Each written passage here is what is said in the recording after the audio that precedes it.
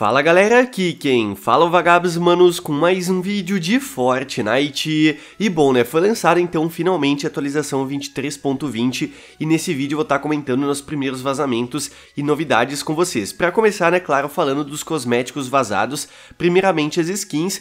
Essas aqui foram as únicas duas skins vazadas nessa atualização. A gente pode ver, né, que as duas são da raridade rara, ou seja, cada uma vai estar custando 1.200 V-Bucks. A gente pode ver ali no lado esquerdo, né, o Guardião da Fenda, como eu falei pra vocês, vai ser um personagem importante na história do jogo. E, manos, eu achei a skin bem bonita, tá ligado? Pelo preço de 1.200, pelo jeito, acho que vai valer a pena, né? Mas, enfim, tá aí então a skin. E a do lado direito, né, o Lucien West, tá muito legal também, na minha opinião. Tá bem da hora, tá ligado? Enfim, né, vamos ver se as skins realmente vão ter esse preço, porque de vez em quando o vazamento de raridade não tá correto, tá ligado? De qualquer forma, né, se você curtiu as skins, fique ligado que elas vão ser lançadas na loja né, durante as próximas semanas. As mochilas, vocês podem ver na tela também, né? Tem a mochila do FNCS aí da temporada, né? Que geralmente não muda muito ali do escudo. E tem também né, as mochilas das skins que eu acabei de mostrar. Olhem só que mochilas lindas, né? Tem um ali que parece um escudo, muito da hora. E a outra ali que é um pelúcia, né? Uma mochila de pelúcia que eu também gostei bastante, né? Pra ser sincero, eu gosto bastante desse tipo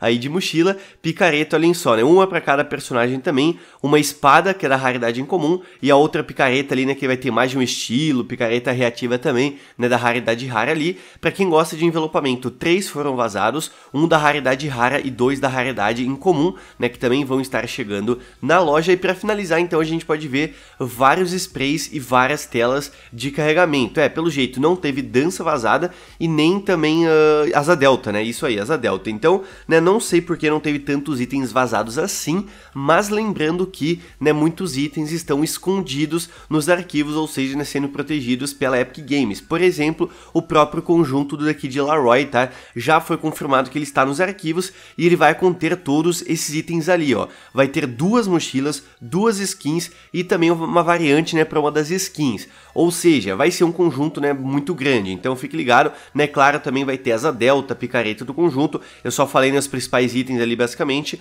mas enfim, né, vai ter além dos itens vazados esse conjunto do daqui de Laroy e também, né, parceria com Dead Space, né, como falei para vocês, que também né, vai chegar no jogo e também já se encontra nos arquivos, tá? Os itens dessa parceria, que vai ter ali uma skin, duas mochilas, uma picareta, um gesto embutido e também 1.500 V-Bucks. Então, provavelmente, nesse pacote vai custar em dinheiro real, não sei, pode ser por V-Bucks também, né? Porque às vezes tem pacote de V-Bucks por V-Bucks, mas enfim, né, fique ligado, esse pacote vai ser um pouquinho diferente, mas também, né, já se encontra nos arquivos. Então, não se apegue, né, somente os itens vazados ali, porque ultimamente a Epic Games né, anda escondendo escondendo vários itens ali nos arquivos, então né, muitos podem aparecer de surpresa, vou dizer assim, na loja ao longo das próximas semanas, mas se você já gostou né, dos itens vazados, prepare os V-Bucks, vão estar chegando aí durante os próximos dias. E outra parada importante é sobre itens, certo? Hoje vai estar sendo lançado o Falcon Scout, né, que é esse falcão drone como eu já tinha falado ontem para vocês, e olhem só o que fala a descrição do item, que você pode, né, tipo, olhar os oponentes e lutear à distância.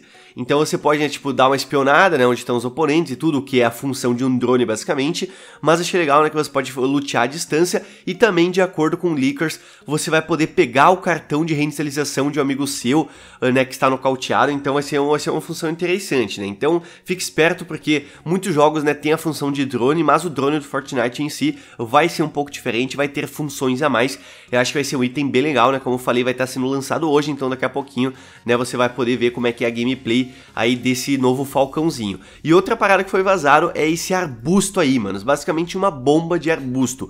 Exatamente, eu não falei errado. E a descrição do item diz exatamente o seguinte: quando você joga, aparece um arbusto gigante, né, no lugar que você jogou. Basicamente isso. E tipo assim, a gente pode ver que as estatísticas dizem que causa 100 de dano. Então eu não sei se, tipo, se você acertar um oponente ali, ele vai tomar dano, né, o que é um pouco estranho, né? Afinal é um arbusto, mas é uma bomba de arbusto. Então pode ser, né, que, sei lá, vai explodir, formar um arbusto, alguma coisa assim.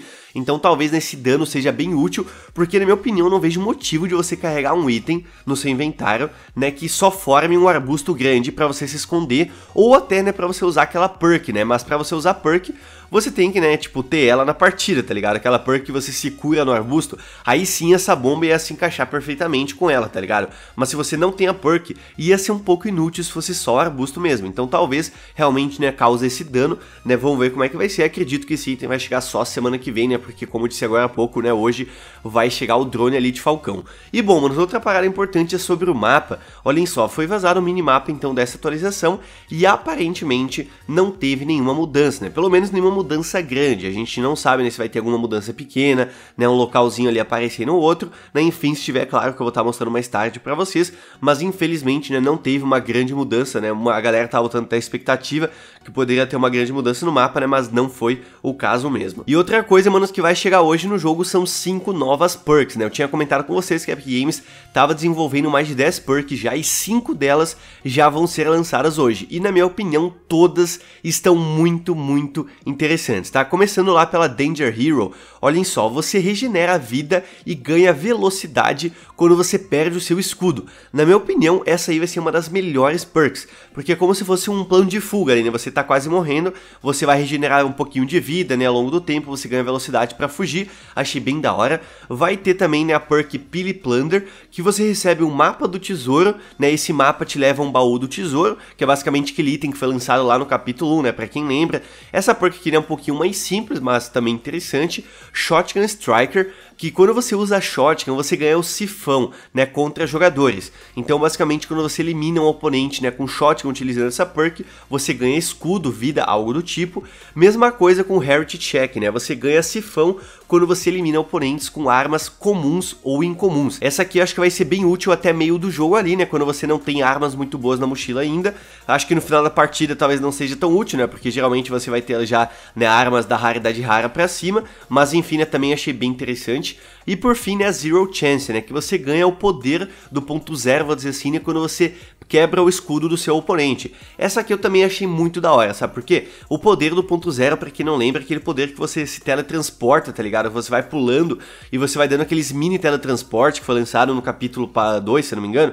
Enfim, então sei lá, você quebrou o escudo do seu oponente e ele tá tentando fugir, você né, usa essa perk ali pra chegar nele mais rápido, né? Assim garantir sua kill, também gostei. Enfim, mano, são né, cinco perks interessantes na minha opinião. Eu acho que a mais simples ali é a do baú do tesouro mesmo. As outras, né, tem tudo relação ali com ganhar vida, velocidade, muito da hora, né? Enfim, vamos ver como é que vai ser na gameplay. Talvez algumas sejam apelonas, né? Mas só testando pra ver, né? então fique ligado se você vê uma dessas perks na partida, né? Elas foram lançadas hoje mesmo. Mas então é isso, galera. Espero que vocês tenham gostado aqui do vídeo. Se você gostou, manos, deixa o likezão aí porque não custa nada e me ajuda muito. E claro, né? Mais novidades aí da atualização de hoje eu vou estar trazendo, né? Hoje ainda aqui no canal. Mostrei aí pra vocês algumas skins vazadas. Não teve muitas mesmo, né? Achei que ia ter mais. Mas lembrando, né? Que alguns itens estão encriptografados pela Epic, né? Parceria aí com Dead Space, The Kid Laroi, que também vão estar chegando na loja aí as próximas semanas. E não esqueça também de mandar o vídeo pros seus amigos para todo mundo ficar ligado em mais assuntos e novidades interessantes do jogo. Então é isso, manos. Aquele abraço. Se vemos no próximo vídeo. Valeu, falou, se eu fui.